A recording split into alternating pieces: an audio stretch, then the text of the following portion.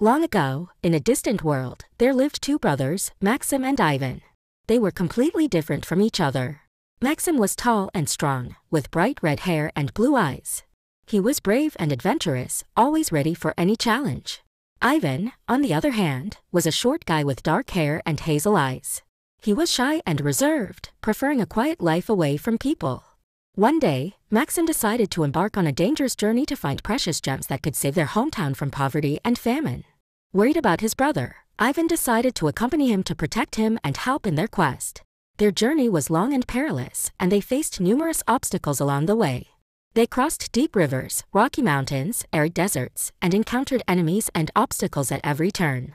But the brothers were determined and skilled, and they overcame all the difficulties together. Ivan found shelter and protected his brother from enemies, while Maxim used his strength and combat skills to overcome all the obstacles. Finally, they reached their destination and found the precious gems that could save their town. But there was one final enemy in their way, trying to stop them from reaching the treasure. Maxim and Ivan stood shoulder to shoulder and fought the enemy, using all their skills and abilities. Their battle was tough, but in the end, they emerged victorious and returned to their town with the precious gems. Their feat became a legend, and a monument was erected in their honor in their town. Their names became a symbol of courage, perseverance, and friendship, and every citizen of the town remembered how the brothers saved them from poverty and famine.